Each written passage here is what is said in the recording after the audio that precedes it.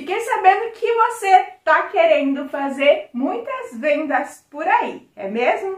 Então hoje eu vou te ensinar esse pavê no potinho que é sucesso, é delicioso, fácil de fazer e os clientes amam. Vem comigo, vamos lá? Começamos com o recheio de café. O café que eu uso é o café solúvel uma colherinha daquela colherinha de café. Dissolvo em um pouquinho de água e coloco lá na panela junto com 200 gramas de chocolate.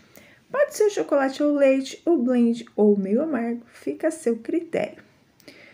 Uma caixinha de leite condensado de 395 gramas, inclusive a versão com chocolate branco também fica sensacional, que eu vou trazer em breve para vocês, tá?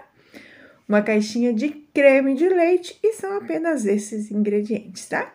Eu não uso manteiga em nenhum dos meus recheios e brigadeiros, mas eu falo sempre para vocês, se quiser usar, pode usar, mas não precisa porque vai o creme de leite, tá? Mistura bem os ingredientes antes de ligar o fogo. Minha panela é uma panela simples, é de alumínio, porém ela é bem grossinha. E aí eu sempre uso essa espátula de silicone, que ajuda bastante, né? Porque ela raspa bem no fundo e na lateral das panelas. Tem que mexer o tempo todo. Esse chocolate ele vai derreter. Logo que o chocolate derrete por completo, já começa a ferver, né? A fazer aquela borbulhinha. Começou a fazer a borbulhinha de leve, já desliga. Vai aparecer no vídeo para vocês o ponto certinho. Como é para potinho, bem cremosinho, né?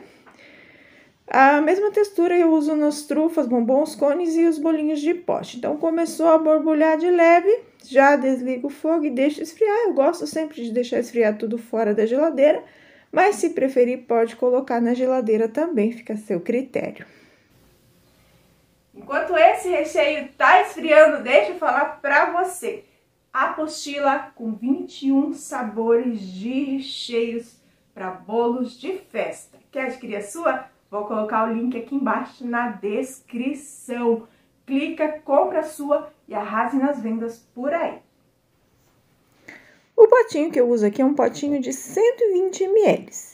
Fica aí uma porção perfeita para uma pessoa e o custo não fica tão alto daí, né?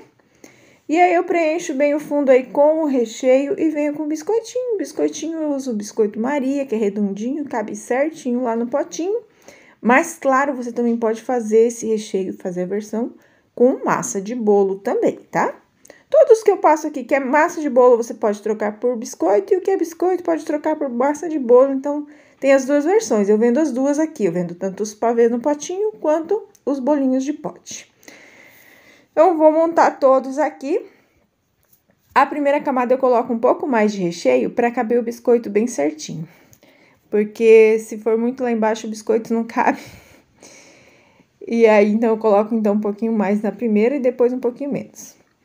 Vou montar todos assim, ó. Vocês viram que eu coloquei duas medidinhas de recheio, duas biscoitinhos e finalizei aqui com um pouquinho de chantilly. Eu coloquei meu chantilly com o bico chuveirinho.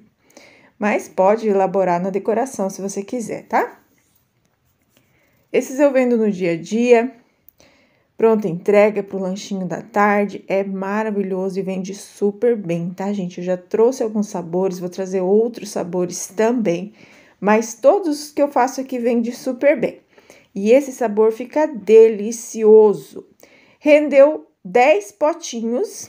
O peso final dele varia aí mais ou menos 95, 100 gramas, tá? Que ele fica mais pesadinho por causa do brigadeiro e a validade na geladeira de 5 dias. Se você quiser congelar, fecha bem 30 dias tranquilo, tá bom?